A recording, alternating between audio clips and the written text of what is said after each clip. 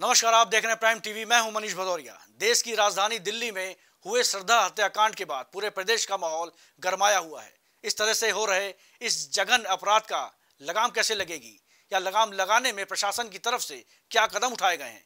इन अपराधियों पर क्या कार्रवाई की गई है? उस हकीकत से हम आपको रूबरू कराएँगे। देखिए हमारी खास रिपोर्ट में। लव जिहाद के कितने शिकार? हिंदुत्व के खिलाफ कितने जिहादी? हिंदू बेटियों के खिलाफ बड़ी साजिश। लव जिहाद की साजिश पर कब लगेगी लगाम? उत्तर प्रदेश में 2020 से लेकर अब तक 2022 तक तकरीबन लव जिहाद के दो सौ इक्यानवे मामले दर्ज हुए। तो वहीं 507 लोगों की अरेस्टिंग भी हुई। एक तरफ़ सरकार ने 27 नवंबर 2020 को ये कानून पारित किया और उसमें एक साल से लेकर 10 साल तक की सज़ा का प्रावधान और जुर्माना भी रखा। तो ही देखने वाली बात यह भी लगातार सरकार इस सख्त कानून को लाती है, उसके बावजूद भी लव जिहाद के मामले तमाम आते जाते हैं।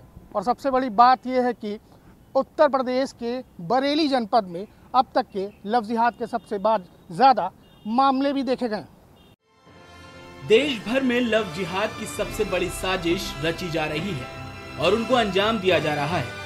अगर हम पिछले कुछ दिनों की बात करें तो देश और प्रदेश में अलग अलग जगहों पर धर्मांतरण के मामले सामने आए हैं। बता दें कि हिंदू बेटियों को एक षड्यंत्र के तहत शिकार बनाया जा रहा है। शहरों के नाम तो अलग हैं, पर उनके पीछे की साजिश एक ही है।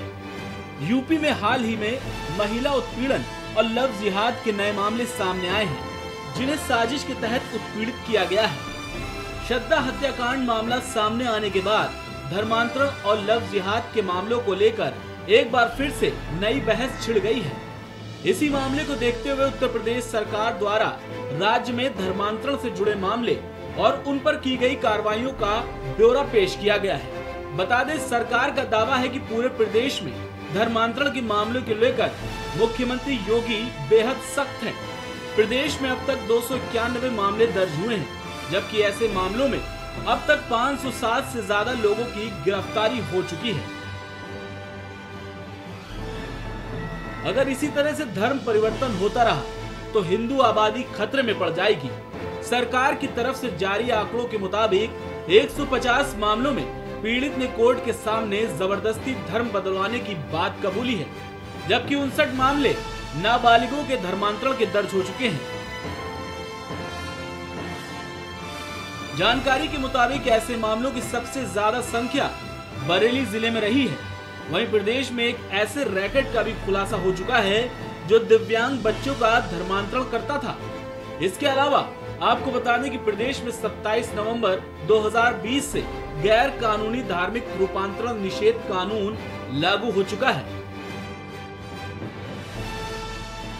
यूपी में धर्मांतरण कानून के तहत दोषी पाए जाने वाले व्यक्ति को अपराध की गंभीरता के आधार पर 10 साल तक की जेल और जुर्माने की राशि पंद्रह हज़ार ऐसी पचास हज़ार तय की गई है। धर्मांतरण को देखते हुए प्रदेश सरकार ने तय किया है कि अगर कोई अपनी इच्छा से दूसरे धर्म में विवाह करता है तो शादी करने से दो महीने पहले जिला मजिस्ट्रेट को सूचित करना पड़ेगा। वहीं अगर जबरन धर्म परिवर्तन कराया जाता है तो जुर्माने के साथ सजा का प्रावधान है। इसके साथ ही एससी, एसटी समुदाय के नाबालिगों और महिलाओं के धर्मांतरण पर तीन से दस साल की सजा का प्रावधान जारी किया गया है। एक तरफ़ देश की राजधानी दिल्ली में दिल दहलाने वाली घटना, रिचा हत्याकांड सबके सामने उभर के आया।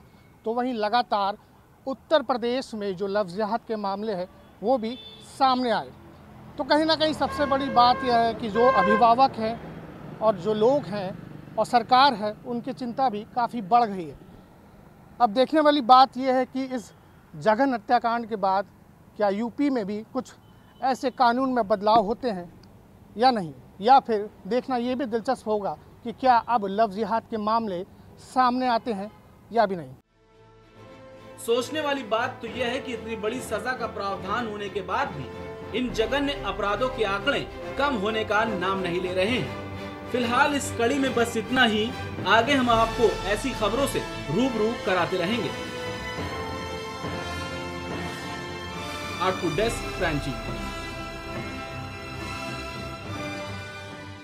हमारी खास रिपोर्ट में बस इतना ही।